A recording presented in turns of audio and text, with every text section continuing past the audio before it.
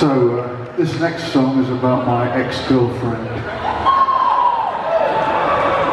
It's called uh, You've Been Living Rent-Free in My Head for Far Too Long.